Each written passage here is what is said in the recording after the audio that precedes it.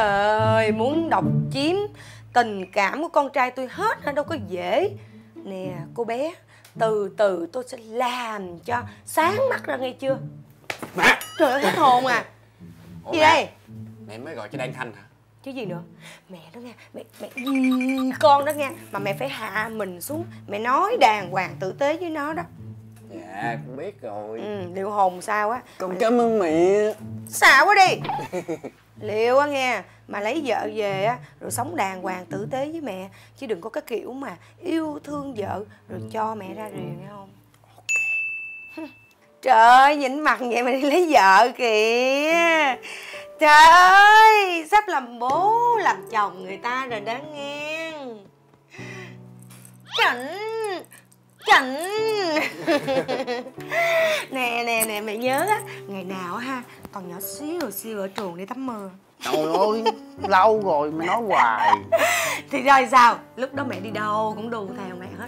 Mỗi lần mà mẹ đi chợ á nghe Trời ơi thằng Tôm nó cứ chạy thấy mẹ ơi mẹ ơi cho con đi Mẹ nhõng nheo cái gì đâu Mà giờ trời đàn ông dữ vậy ta. Vậy thì mốt á Cháu nội á đi chợ với mẹ luôn Được không? Mẹ chịu không? Nó phải ngoan tao mới cho đi à. Y chang con luôn. Ừ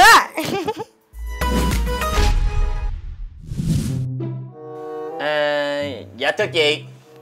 Dạ thực sự là phải nói cho chị biết là mong chị thông cảm Là tại vì à, bà nhà tôi sau khi mà hay tin là con gái tôi mà nó bị lỡ đó chị Nó lỡ.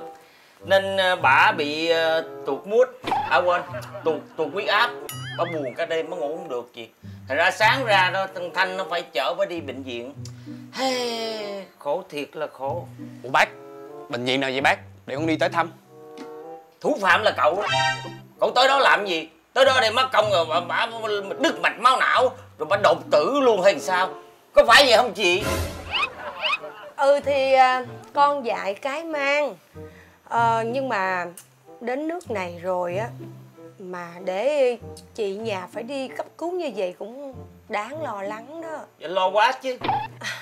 Nhưng mà thật ra thì con trai của tôi nó cũng có thành ý đó anh à.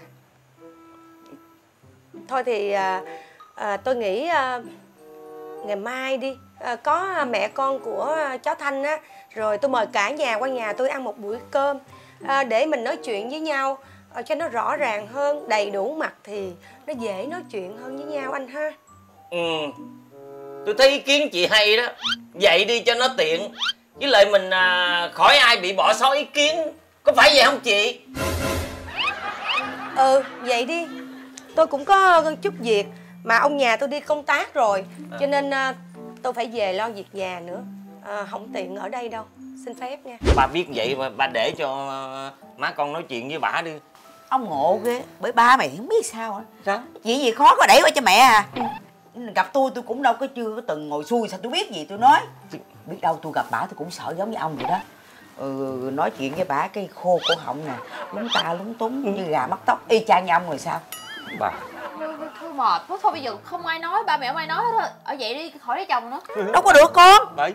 Rồi phải làm đám cưới đàng hoàng. Ừ. Cưới xong muốn bỏ thì bỏ. Hả? đó hiểu không? Chứ bây giờ con mà không lấy chồng nữa hả? Để cái bụng vậy là đi ra đường người ta sẽ đánh giá mình nói là đồ thứ con gái chưa chồng mà bị vậy không được. Ừ, đúng rồi. Mệt quá chứ giờ sao đây? Thôi con đi ra quán anh hai á. Bị khổ ghê. Tôi nói con gái giống như mắm mắm treo treo đầu giường. Ủa quên mắm treo đầu vàng